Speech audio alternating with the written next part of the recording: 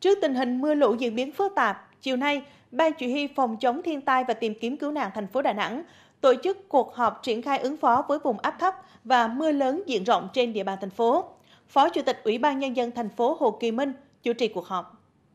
Sau khi nghe các đơn vị chức năng báo cáo khái quát về tình hình mưa lớn và công tác triển khai ứng phó, Phó Chủ tịch Ủy ban Nhân dân thành phố Hồ Kỳ Minh yêu cầu các sở ban ngành quận huyện tiếp tục triển khai chỉ thị số 02 về phòng chống lụt bão và tìm kiếm cứu nạn cứu hộ, lên kế hoạch kiểm tra thực tế một số khu vực. Các địa phương ven sông Yên, Túy Loan, Cu Đê cần có biện pháp phòng chống sạt lở, nghiêm cấm người dân ghe xuồng đi qua các khu vực ngầm, cầu tràn.